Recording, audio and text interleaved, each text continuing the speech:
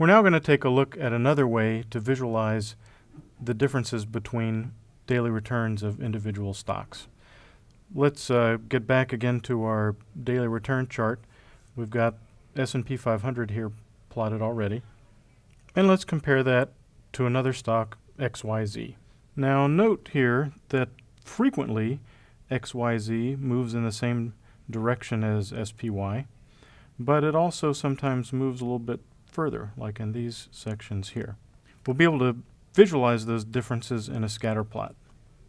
So on a scatter plot, there are a number of individual points or dots, and each one represents something that happened on a particular day. So let's look at this particular day. On this day, SPY was positive, close to plus 1. So we'll look at plus 1 on SPY. And XYZ was about plus 1 as well, but a little bit larger. So that day would correspond to a point about there.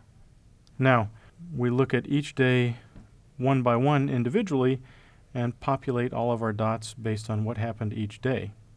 Another interesting day is this one, where SPY and XYZ were moving in different directions. So again, we had SPY in positive territory, but XYZ was in negative territory. So that would represent a dot about like that.